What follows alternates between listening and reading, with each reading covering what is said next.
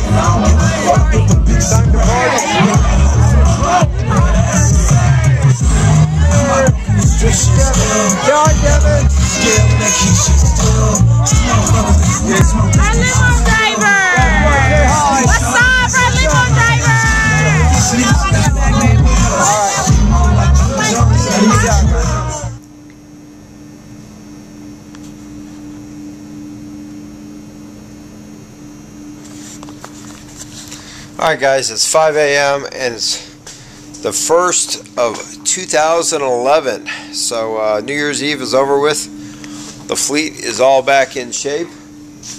We're all back home, safe and sound.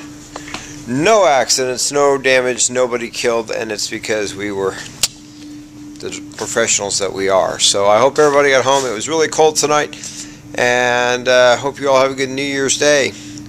So, uh, peace out, Kansas City, and we'll see you tomorrow. Happy New Year's.